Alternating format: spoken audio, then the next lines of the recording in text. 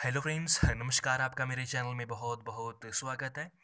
तो फ्रेंड्स, आज आपके लिए हिमाचल प्रदेश स्कूल शिक्षा बोर्ड धर्मशाला से जो है महत्वपूर्ण सूचना निकल कर सामने आई है।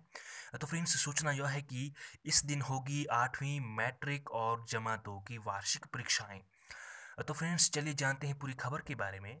हिमाचल प्रदेश स्कूल शिक्षा बोर्ड धर्मशाला के सचिव डॉक्टर हरीश गज्जू ने बताया कि मार्च 2019 में संचालित की जाने वाली नियमित कंपार्टमेंट, अंक सुधार, अतिरिक्त विषयों तथा राज्य मुक्त विद्यालयों के आठवीं मैट्रिक जमा दो श्रेणी की वार्षिक परीक्षाओं की तिथियाँ घोषित कर दी गई हैं।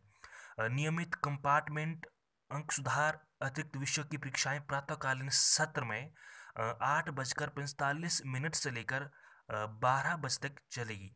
तथा राज्य मुक्त विद्यालय अर्थात एस ओ एस की परीक्षाएँ सायकालीन सत्र एक बजकर पैंतालीस मिनट से लेकर साय पाँच बजे तक चलेगी। क्लियर?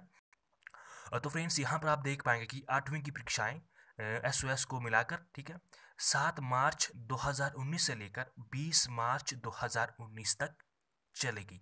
क्लियर? तो फ्रेंड्स, यह आपकी जो है एस ओ एस प्लस जो अदर्स हैं रेगुलर वगैरह प्राइवेट जो भी हैं, उनको मिलाकर होगी। और उसके बाद मैट्रिक की परीक्षाएँ जो आपकी सात मार्च 2019 से लेकर 20 मार्च 2019 तक चलेंगी, ठीक है?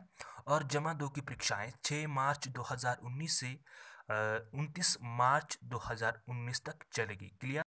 और तो फ्रेंड्स, यह डेट शीट रहेगी आठवीं, दसवीं और जमा दो के अभ्यर्थियों के लिए। तो फ्रेंड्स, आपको जो मैं वीडियो के डिस्क्रिप्शन में लिंक दे दूँगा, वहाँ से आप जो है ऑफिशियल नोटिफिकेशन को जो है डाउनलोड कर सकते हैं। तो फ्रेंड्स, धन्यवाद and have a awesome time जय हिंद, जय भारत।